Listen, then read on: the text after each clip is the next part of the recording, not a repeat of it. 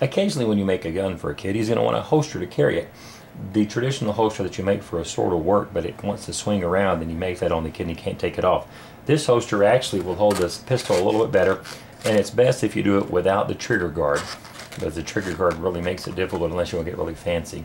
But this one also has a buckle so that you can take it on and off. It uses two 160s, I've chosen dark brown, each with about four or five inches uninflated on the end.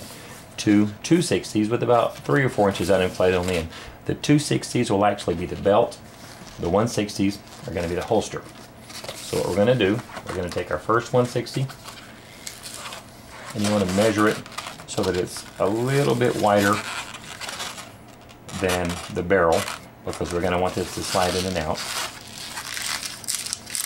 and then put a pinch twist right after that bubble like that. And then I'm going to come up here and I want it to fit in this little gap right there. And see, you can see how that's lining up like that. And then I'm going to put a pinch twist there and then set that one aside for a moment. And I'm going to take another one, like that. What we've got to do now with this one is it's got to go from just below the hammer to this because you want it to catch. So we're going to make a bubble about that big and then put a pinch twist on the end of that. And then we're going to take our nozzle and attach it to the second pinch twist on the first one. Just like that.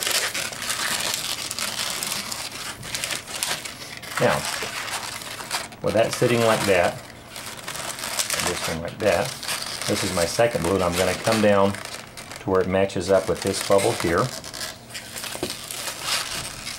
Put a pinch twist there.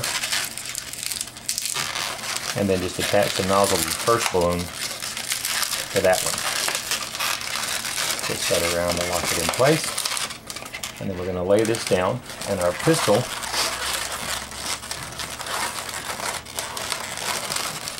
is going to sit.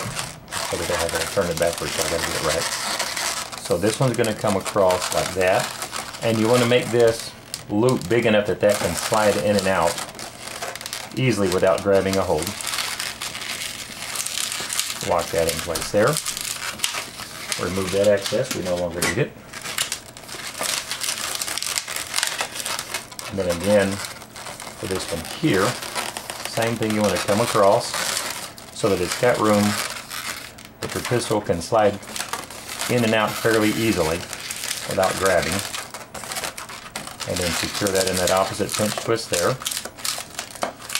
Remove this excess. We no longer need that.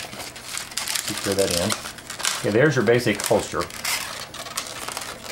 So your six shooter will set in there and ride comfortably. Now we need to make the belt. So we're going to set that over there for a second. We're going to grab our 260s. For the catch of the buckle, we're going to make about a one inch bubble followed by a pinch twist. Another bubble about one inch, another pinch twist. And then what we're going to do is figure out about how long that'll go halfway from the front of the kid, say this is his waist, around to his side, and twist that off there. Pop off the excess, we don't need it. Tie that, and then we're going to take this, let's take the gun out for the moment, and attach it to our holster at one of the top pinch twists, like that.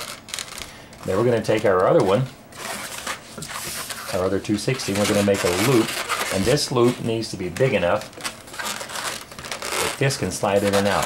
So it's about an 8 or 9 inch bubble. We're going to lock them together like that and then put a pair of pinch twists here.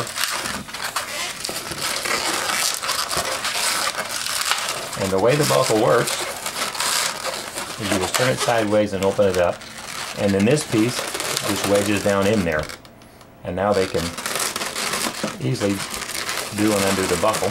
And then you're going to take the other remaining part of this one, measure around the child's waist to get back to the other side here. And secure that in there. Just trim off this excess.